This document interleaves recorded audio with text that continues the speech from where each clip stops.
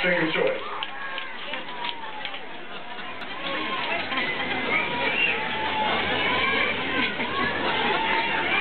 If you think about it, water never hurt anybody. Well, unless you came into a lot of it very quickly, but suppose like, I'm going to go home and drink some water. When was that ever a bad decision, ever? Jeans, you look really attractive, and, and that's, that's a, not a lot of clothing on you, and that is a wedding ring. I'm going to go home and drink some water. All the time. I'm going to start doing?